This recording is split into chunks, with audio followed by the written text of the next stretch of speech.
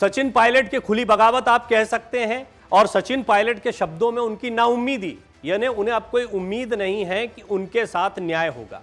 सचिन पायलट की नाउम्मीदी या उम्मीद क्या थी, पहले वो समझना ज़रूरी है।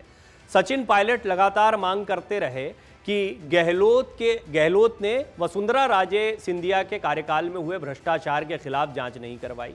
हालाँकि वो गहलोत का नाम नहीं लेते हैं। वो बार बार ये कहते हैं कि मैं पार्टी के खिलाफ नहीं हूँ, लेकिन जनता को जवाब देना है। बहरहाल, अब सचिन पायलट खुलकर सामने आ गए। अशोक गहलोत पर सचिन पायलट ने जमकर हमले बोले हैं। पत्रकारों से बातचीत करते हुए पायलट ने एक बड़ा ऐलान भी कर दिया है। पायलट ने यह बड़ा ऐलान किया है कि वो एक यात्रा निकालने जा रहे हैं। 11 मई को पायलट संघर्ष यात्रा, जनसंघर्ष यात्रा निकाल रहे हैं। सवा सौ किलोमीटर की ये यात्रा है। भ्रष्टाचार के खिलाफ पायलट ये पदयात्रा निकालेंगे। अजमेर से जयपुर तक ये जनसंघर्ष यात्रा होगी। सवा सौ किलोमीटर की ये जनसंघर्ष यात्रा है और तीन साल में कोई कार्रवाई नहीं हुई है उस उन मामलों पर, जिनमें वसुंधरा राजे सिंधिया के कार्यकाल में कथित तौर पर भ्रष्टाचार जैसा पायलट कहते हैं, भ्रष्टाचार हुए थे। कई बार उन्होंने चिट्ठी लिखी अशोक गहलोत को या मुख्यमंत्री को, लेकिन उस पर कोई कार्रवाई नहीं की गई। इन्हीं सारी बातों को लेकर खुलकर मैदान में आ गए हैं सचिन पायलट। असली मामला क्या है?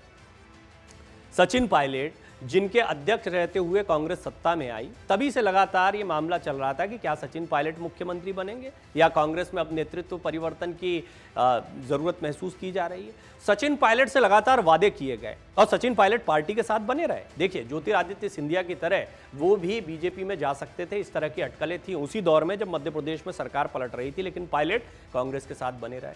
कुछ ना कुछ वादा उनसे किया गया होगा। फिर अब तो ये हो गया था जब अजय माकन, मल्लिकार्जुन खड़गे बीते साल पहुँचे राजस्थान में और ये तय हुआ कि एक लाइन में ये आदेश पारित करना है कि पायलट अगले मुख्यमंत्री होंगे। अशोक गहलोत अब राष्ट्रीय अध्यक्ष की दौड़ में आएँगे। अशोक गहलोत पहुँच गए सोनिया गांधी के पास। उन्होंने साफ़ कह दिया कि मैं विवश हूँ, मैं मजबूर हूँ।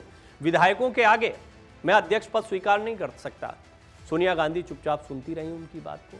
20-25 पन्ने का एक लेटर पकड़ा के आ गए अशोक गहलोत। बाहर पत्रकारों से बातचीत करते हुए सारी बातें कहती स्पष्ट तौर पर वो एक बगावत के तौर पर देखा गया। लेकिन फिर मामला धीरे धीरे ऐसा हो गया, आपने देखा रंजीत, रंधावा आ गए, राजस्थान की राजनीति की चिंता, शीर्ष नेतृत्व को भी होने लगी कि अशोक गहलोत के बिना कैसे काम चलेगा। अशोक गहलोत यही ताकत दिखवाना चाहते थे और यही बात अपनी मनवाना चाहते थे।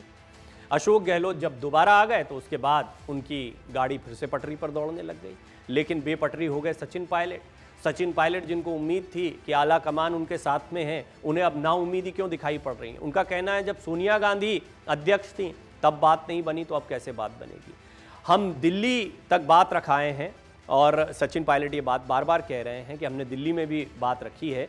सोनिया गांधी जी की अवहेलना हुई, ये भी वो कह रहे हैं, और जो गंभीर आरोप लगाए गए थे, उनकी अब तक जाँच क्यों नहीं हुई है? ये कुछ बड़ी बातें हैं जो सचिन पायलट ने अपने इस प्रेस कॉन्फ्रेंस के दौरान कही हैं।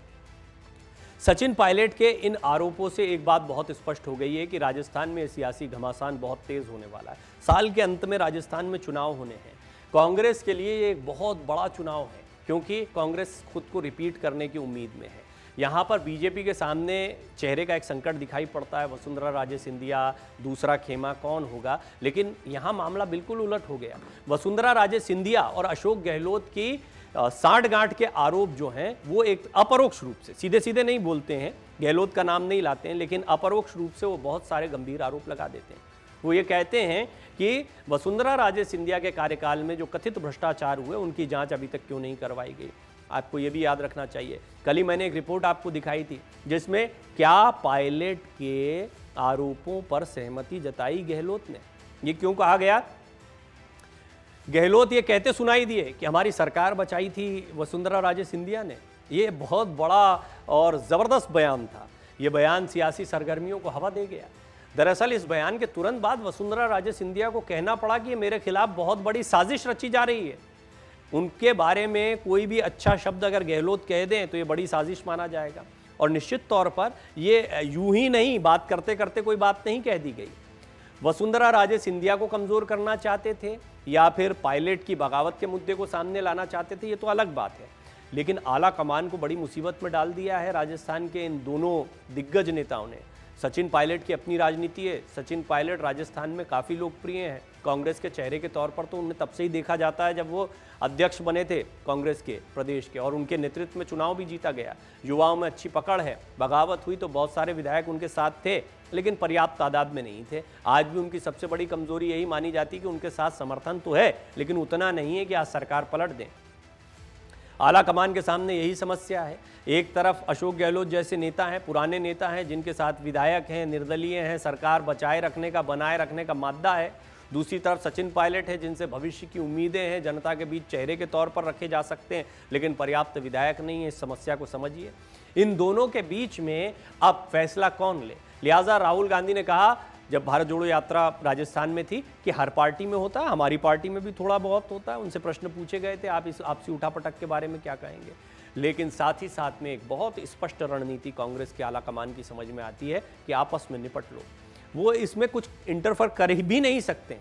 आपने के सी वेणुगोपाल, जयराम, रमेश, मल्लिकार्जुन खड़गे और अजय माकन की तो खैर छोड़ ही दीजिए, उनको तो इस्तीफा देना पड़ा, इतने नाराज़ हो गए तो उनकी बात नहीं मानी गई।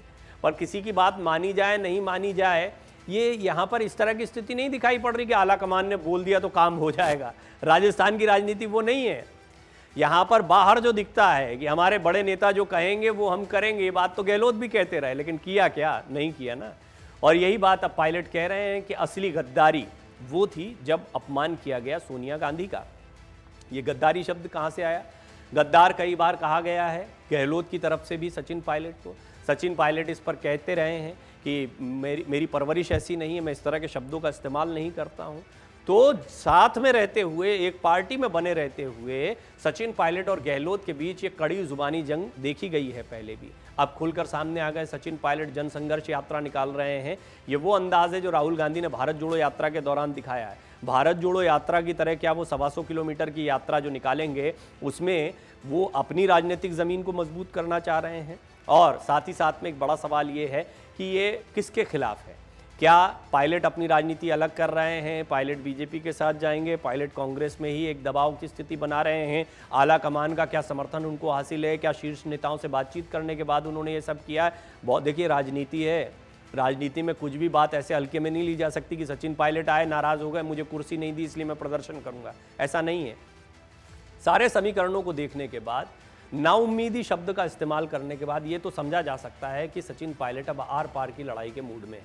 दिल्ली तक हमने बात पहुँचा दी है। ये बात भी बताती है कि अगर गहलोत ने अपनी ताकत दिखाकर, देखिए गहलोत सत्ता में क्यों बने हुए हैं? अपनी ताकत दिखाकर। तो सचिन पायलट के पास भी यही ऑप्शन बचता है कि वो अपनी ताकत दिखाकर या तो कांग्रेस का चेहरा बने या फिर अपनी ताकत दिखाकर अन्य किसी दल के साथ में जाएँ या अपनी ताकत दिखाकर राजस्थान की राजनीति को प्रभावित करें। प्रभावित कैसे कर सकते हैं? देखिए, राजस्थान में इस वक्त सीधी सीधी टक्कर तो बीजेपी कांग्रेस के बीच में है, लेकिन अगर कोई तीसरा धड़ा आता है, जिसमें सचिन पायलट खुद है, अनुमान बेनीवाल को मत भूलिए, वो कह चुके सचिन पायलट का स्वागत करेंगे। आम आदमी पार्टी ताक लगाए बैठी है किसी चेहरे के बारे में, और बहुत सारी ऐसी खबरें आती भी रही हैं, हालाँकि इन खबरों में कोई दम नहीं बताया गया, लेकिन फिर भी किसी संभावना से इनकार नहीं किया जा सकता है, यानी राजस्थान में निश्चित तौर पर चुनाव से पहले कुछ बड़े फैसले होने वाले हैं, और कर्नाटक की सुखबुगाट जैसे ही कम हुई है, आप देख रहे हैं, राजस्थान उबलने लगा है।